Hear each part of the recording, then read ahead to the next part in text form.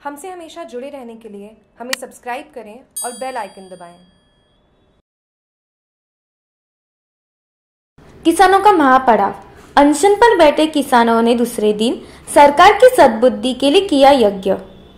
धोरीमन्ना क्षेत्र में पिछले तेरह महीनों से नर्मदा नहर में पानी नहीं आने के कारण क्षेत्र के किसानों ने पानी की सप्लाई शुरू करवाने की मांग को लेकर महापड़ाव के रूप में धोरीमन्ना उपखंड पर धरना शुरू किया। वही धरने के दूसरे दिन किसानों ने सरकार के लिए सद्बुद्धि यज्ञ का आयोजन कर सरकार को सद्बुद्धि दिलाने की मांग की।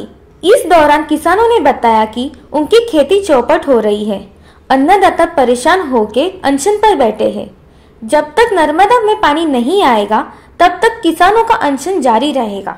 धरना स्थल पर दूसरे दिन प्रधान ताजाराम चौधरी, खुमाराम बेरड़, बोर सरपंच जयारूपा राम चौधरी नाथाराम सारन यूथ कांग्रेस के भोमाराम सियोल अरनियाली के पूर्व सरपंच, बेराराम खोत सहित किसान धरना स्तर पे मौजूद है धोरी मन्ना से जागरूक टीवी की रिपोर्ट।